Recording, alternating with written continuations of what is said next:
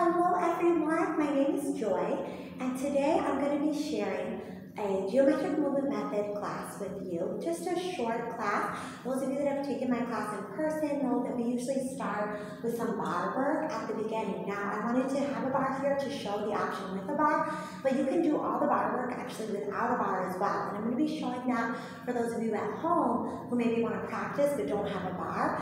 Also, you can use a wall for stability. So even if you have a wall you can stand next to and just gently place your hand on, that can help with some of this balance work as well. So the other two items I have here is a kettlebell. This is five pounds and a yoga block. So if you don't have a kettlebell, you can use anything with weight to it, whether that's a water bottle or just something a little heavy to hold in your hand or a regular hand weight. And if you don't have a yoga block, all the stuff that I show with the yoga block, you'll be able to do with your feet just flat on the floor or your knees flat on the floor as well. But the yoga block can add some fun for those of you that have that equipment at home and want to try it. So the first thing we're going to do is start with our feet. So typically the way I would teach is I have people stand behind the bar, feet together, toes and heels touching. However, if you're at a wall, you can simply face the wall, toes and heels touching. For the purpose of this, for those of you that are doing this at home, I'm also going to show them without the bar. So I'm going to have toes and heels touching. If I don't have a bar, I may just want to hold the arms to the side for stability and just rising up to the toes and down. The goal here is to keep your heels together. So a lot of us sickle, what happens is like something like this. We want to squeeze those heels together. So that's why again, the bar can be helpful when we're first doing this because even if we're someone who has a really great balance on our releve or up on our toes, like with the bar, if you're feeling wobbly, you can hold on, you have something to to. But just try about six more with me here with those heels pressing together. So we go up one, heels stay together the whole time, two. Breathing in, exhale, three. Breathing in, exhale, four. Inhale, exhale, five. Here's six, seven. Here's eight. Here's nine, and here's 10. Ooh, and on 10, I almost didn't even stop because I said 6, but I went for 10. Guys, it happens all the time. We might do a few because we're having so much fun. So if you need to stop, you can always stop. Check your here without the bar. You can see it's getting a little wobbly. It's a little tough. So have that wall, have that bar if you need it. Heels are together. Breathe in. Don't let those heels fall apart. Four, three, two, and let's release. We're to stretch our calves. So again, if you have a wall or a bar, you can kind of push one, heel back. If you're just doing this on your mat without a bar, just bend one knee, push that heel back. So we're trying to really release those calves after all that work. It's really important to release the calves. Now we're going to come back into some more. So that was just a quick stretch. We're going into heels together, toes apart. This is our Pilates knee stand, or in ballet, our first position. So geometric movement method, we use methods from dance, from yoga, from Pilates. So a lot of things coming together. So we're going to take a little plie bend in our knees. We're going to let our heels peel up, straighten up, and squeeze the heels down. Again, hold a bar or a wall if you're feeling a little wobbly. Heels up straight through the knees, and we float down. And two more. Just letting those calves get that nice stretch by keeping the heels down on the bend, letting the heels come up, strengthen those arches, rise up, stretch the kneecaps. Let them pull up those tendons around the knees to feel really strong. Lower down with control. Last one, breathe in. Exhale and and squeeze down. Good. Let's come up, rise to our toes, reverse that, bend the knees. Push the heels down, straight legs, and rise up toes. Bend the knees, push the heels down, straight legs, couple more. Rise toes, bend the knees, Push the heels down, straight legs. One more time, rise toes. Bend the knees, heels down. As we go straight legs, one arm overhead, one across the belly, or if you have your bar, maybe one hand's on the bar, and you're just reaching, and then other way side. Okay, so I like to do this cambre. Again, I'm going to show with the bar how this might look. So I'm actually to turn the bar sideways so I can see a couple things. So if I'm here doing that first position with the cambre, one hand on the bar, To try to keep my hips level with the bar or with the wall, if you have a hand on the wall. Just lift the sternum up and arch back. Keep your legs in the same position and then stack shoulder over head. You're strengthening your abdominal muscles here as well as learning to straighten your back. So that bar there, if you need it. If your uh, toes feeling away, squeeze those toes into the floor. We reach back, breathe in, exhale, stack shoulders over hips. Two more on one side and up. And remember, you can do this from without the bar as well. So you might just arch back and come up. Just for those of you at home, I like to show that sideways view so you can kind of see what we're doing here. It's not working on the hips pressing forward. I want to keep those hips right where they would be if the shoulders were there. And just let that sternum arch back and stack shoulders over hips. Breathe in. Exhale, come up, use that breath. Two more, breathe in. Exhale, back up, one more. Breathe in. Up, good. Okay, so feet go back to parallel. Again, you can do this with or without a bar. So if you're at your center and shoulders over hips without a bar, I'm going to show that first.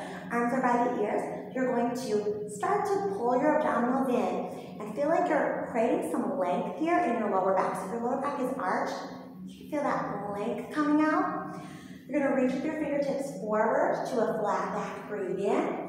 And the then exhale, reach the fingers out and come up. So right now, I'm just showing what that looks like without the bar. We're just reaching from that lower back. Breathe in. Exhale, supporting from the abdominals to come back up. We're feeling a little stretch in our hamstrings as well.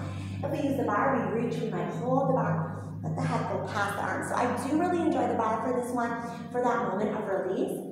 If you're doing this at the wall, you can literally just press your hands on the wall and then let your head go past where that wall would be. And there you can drop lower. If you have a bar with a lower setting, or maybe you're using a countertop, or anywhere really that you can hold on to the back of the chair even. Take a little bend in the knees, feel that head falling between the arms. Okay, now we engage through our core again, belly button towards spine, hinge from the hips, come up.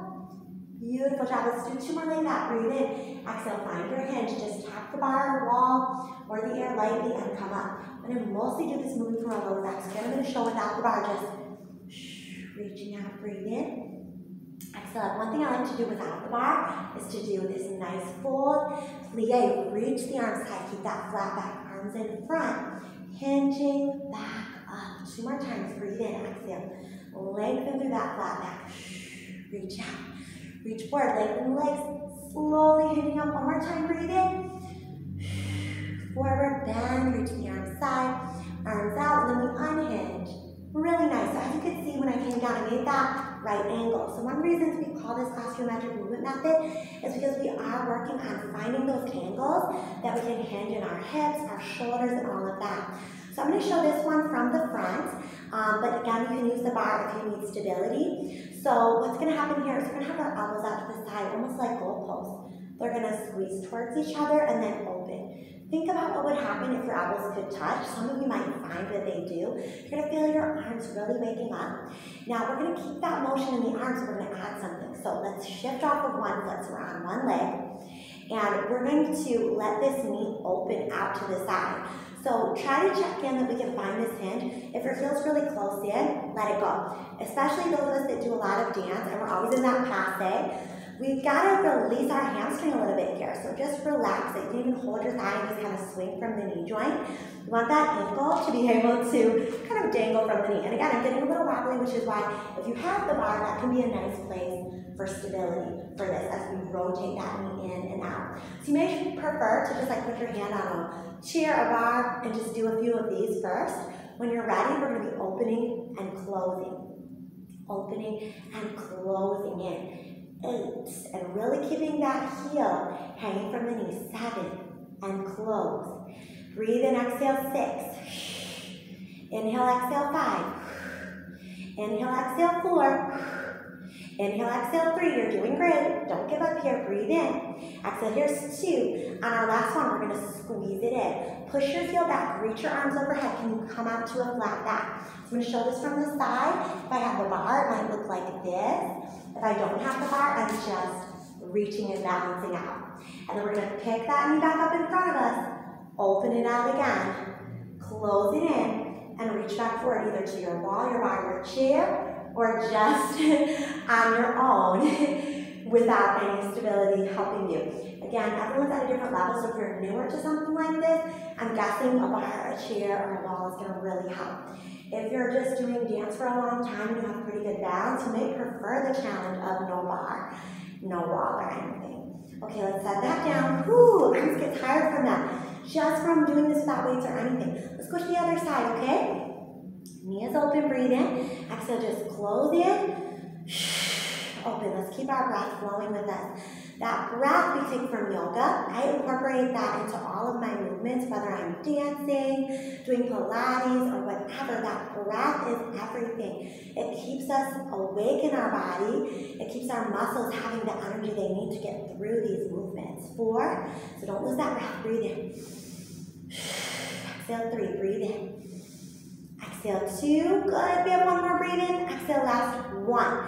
Send the leg back, arms forward, leg back, breathe in. Exhale, knee comes back up, open. Breathe in, exhale, close. Let's send it back again. Straight line through the body. It doesn't have to be parallel to the floor. So some people might say, oh gosh, like my leg's only going back this far. That's absolutely fine. If you go further, go further. But take your own pace. Each side's gonna be a little bit different. Slow down as needed. Okay, to do three more. Check that balance, it's so tough. Lots of balance work for this class when we do the standing portion. But we will get it out to the floor after this exercise because we've been doing a lot. We're just doing a little mini class today. You're doing amazing. Breathe. Shh. Good job. Come up. And let's set that foot down. Our arms may be a little tired. Hands behind our back. Let's press our chest forward. Hinge. Fold, release. Or even if you want to put hands on the wall, chair bar. Just hang a little bit, a little bit more. Bend the knees. All right, feel free to maybe raise one leg back and do a couple pulses with the toes pointing down just to wake up that left hamstring.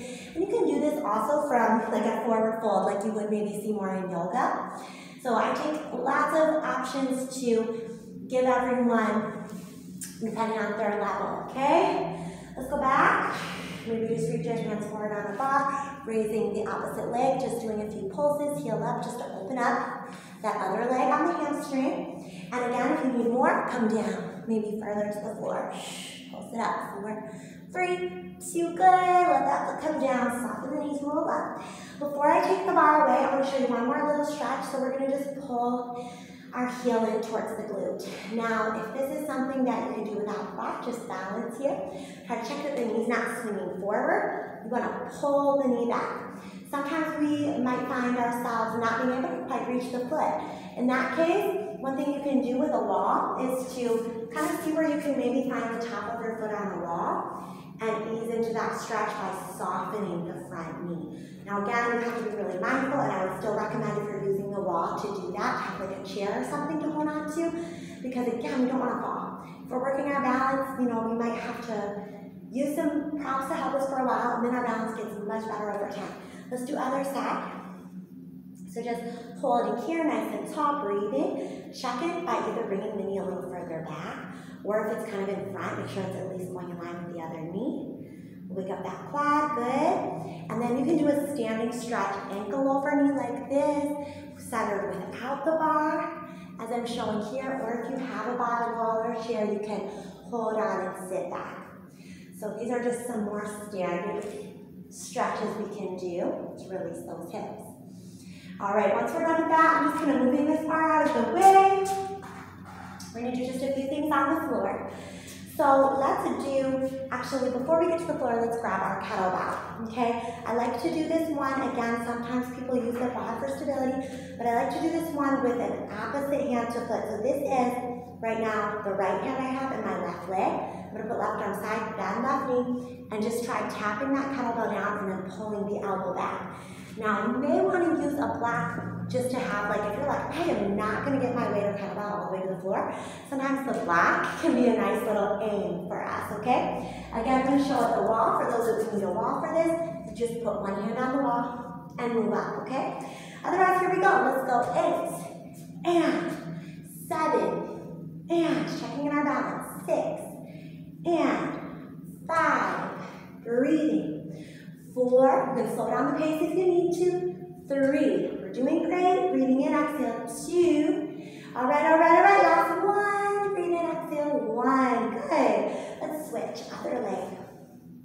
So we go down for two. When we come up, I like to pull that elbow back, okay? So rather than just coming like halfway up, make sure you're coming all the way up, driving those hips forward, driving that knee forward. Try to find that passe toe to knee position, okay? Like a parallel passe position.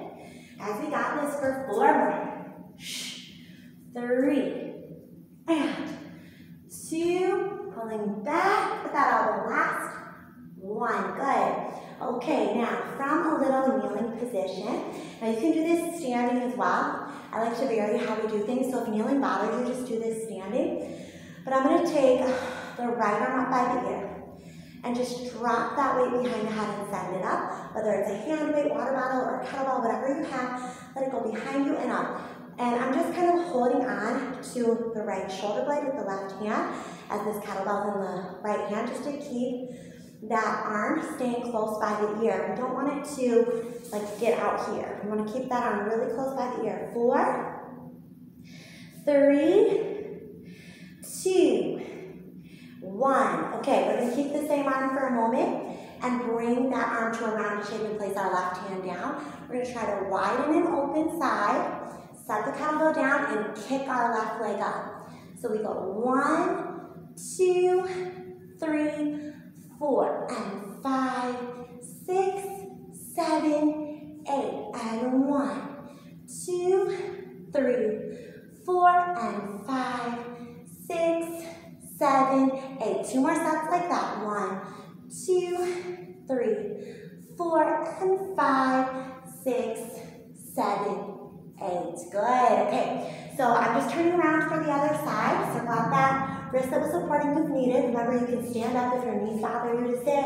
and just drop and press. You can do this standing for sure. But if you'd like, come down to knees. Just really focusing on that.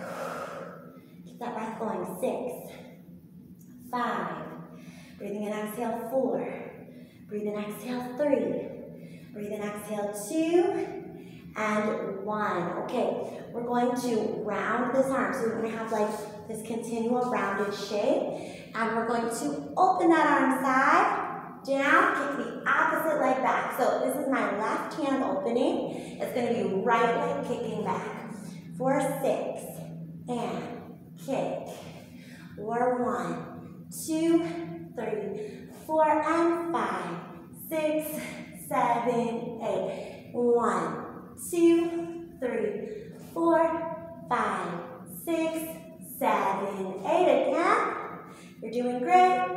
Last set, three, four, and five, six, seven, and eight. Good job. Okay, so we're here.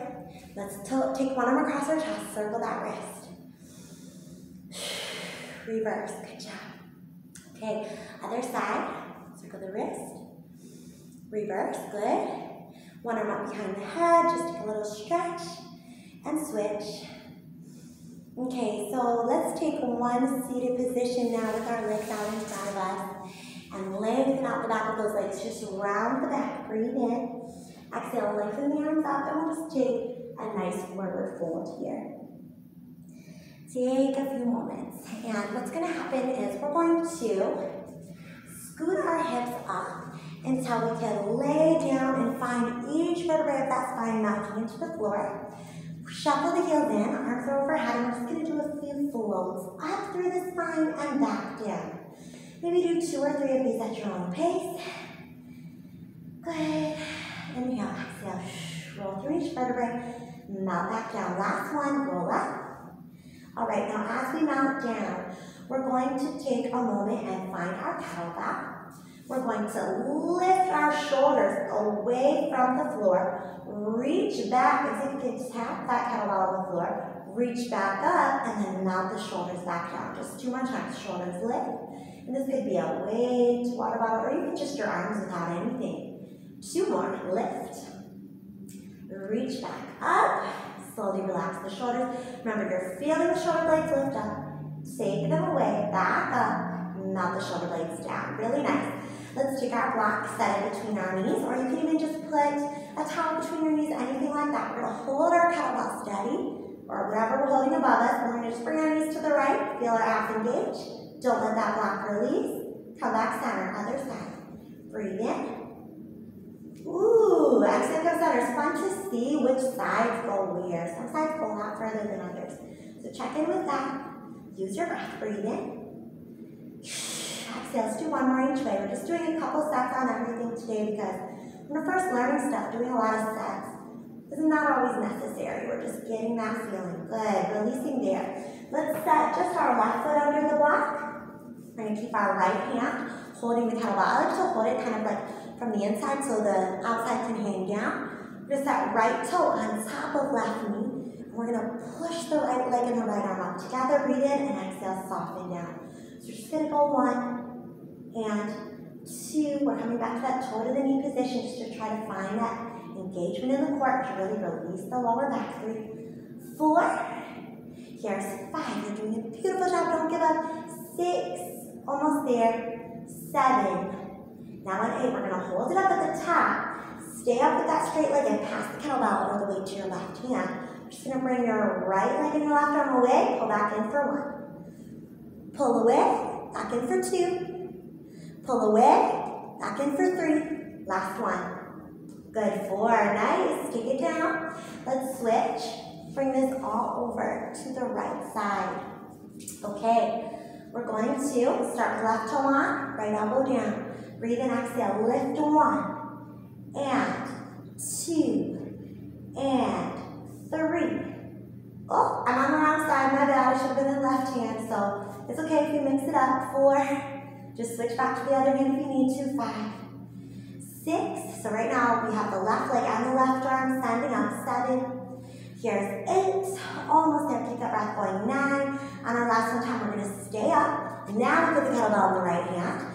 We're going to take that arm leg away from the body and pull back in. Trying to keep the hips off the floor. And they're a little higher up with that block as well. Two more. Good. Last one. Beautiful. All right, coming center. Relax. Okay. Set that kettlebell down. I'm just breathing. I'm checking the time, making sure we have time for everything. Good, guys. We should be able to fit in the last couple things here. Okay, so we're going to start on left knee. I'm sorry, let's actually, I'm going to use the leg closest to you. So I'm going to put my right knee on the block, okay? Left knee is off. To start with, all I'm doing here is pulling the left hip up in line with the right knee for four. Three, this is strengthening our lower back two. On one, we pause and hold it up. We're gonna open that knee. Take it down and relax. And lift, open. Take it down and relax. You're doing great. Lift, open. Take it down and relax. Last one, lift, open. Take it down and relax. Good. Let's switch sides. Left knee on the block. I'm gonna turn around so you can see what's happening with the knee drop. Left knee on the block, wrist right under shoulders, okay? We pull up, down one, up, down two, up, down three, four, really lengthening through the lower back and feeling those lower back muscles and glutes pulling up. Two more. Seven, this is great strengthening for that lower back. And eight, now we open. And we close, release one. Lift, open, slowly release to the floor. Three, good. Last one, lift, four. Good, relax down. Great job. All right, you guys have done amazing so far. This is a lot to do. Let's have our hands on the block or just out in front of us. A little child's pose. Breathe, breathe, breathe. Good job. Okay, let's do a little back work and then we'll finish up, okay? So we have our legs extended behind us, our block out in front of us, or even really anything. You could stack some books up, whatever you want. Just put a few items out in front of you. The higher up, so like I can put my block like this, that's gonna be a little easier. If I flip the block a little higher, it's definitely gonna be a little harder. Okay, so we're gonna let our head go between the arms, sort of like we did at the bottom. Keep your arms extended, don't let the elbows drop, keep them lengthening. And we're just gonna lift our legs one. Lift our legs two. Keep that forehead down, keep the arms lengthening. Four, inhale, exhale. Five, six, seven. Now when they hold it up, see if you can raise your arms and keep your head in between those arms. Let's squeeze our elbows in. Reach everything out one. Squeeze in. Reach out two. Squeeze in. Reach out three. Last one, breathe in. Exhale four. And hands under shoulders. We're to curl up. Half or all the way. Breathe in. Great job, exhale. Sit those hips back to heels. Catch your breath. Let's take that little thread the needle that we do in yoga. So left arm's gonna come up and thread under right. Just stretch out between those shoulder blades. Great job, breathe in. Exhale, switch. We'll take a right arm up. Thread under left, breathe in. Exhale, stretch out between those shoulder blades all the way down that spine. Breathe in. Good, good, good. Exhale, come up. And now let's do one little check-in on our balance. Opposite arm and leg reaching out, one front, one back. Slowly release, switch sides. Good, toes tuck under, downward dog. Walk the feet out. Make sure those calves have gotten a nice stretch. And we're gonna raise up one leg behind us and just point and flex that foot. One, two, three, and four. Good. Take that leg down and switch sides. Noticing the higher the leg goes, the more deep stretch you on the opposite leg. One, two, three, four, and five. Softly release that knee. Walk those feet out again. And then we'll just step one foot up towards the hand. Make a little triangle shape in the legs. Hang over that front leg. Big breath in. Exhale. Let's come through center. Look under both legs. Switch to the other side. Hang over that front leg. Check in with your hips, maybe shifting the weight forward and back till you find that even spot. Good, good, good. Back center, look under both legs, breathe in. Exhale, soften the knees, roll up. Woo! Take a moment, shake it out. Let's take one more roll down. Bend the knees, breathe in. Exhale, straighten through the legs, roll up. Good. Bring our feet together. Sweep the arms up, breathe in. Exhale. Thank you guys. You did a beautiful job. That was just like a mini class. It's always hard to fit everything I'd love to fit in in one little video, but I'm glad you're here working out.